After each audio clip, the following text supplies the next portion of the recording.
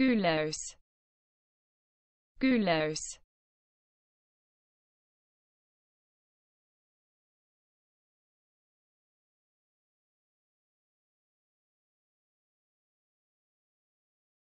an aldehexose that is a 3-epimer of galactose.